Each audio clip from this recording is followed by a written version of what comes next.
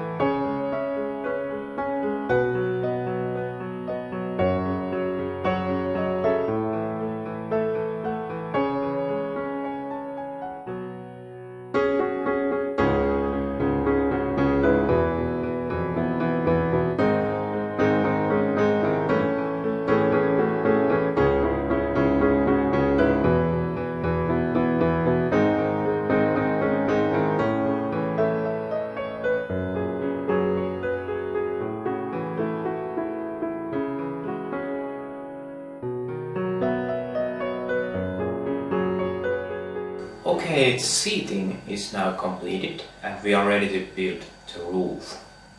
And when we get that done, we can start attaching the LED lights to their places.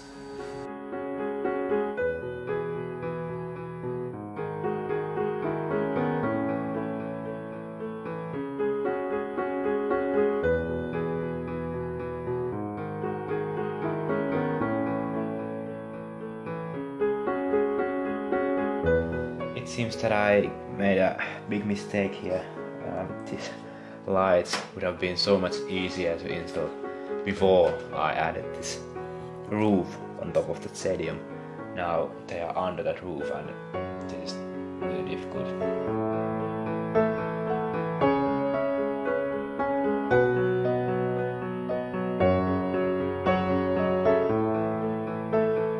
That's enough for the second episode. Stadium is now fully completed from the inside. And next time we will build the famous steelwork which gives the stadium its unique look. Thank you again for watching and don't forget to watch the final episode which will be out in a few weeks.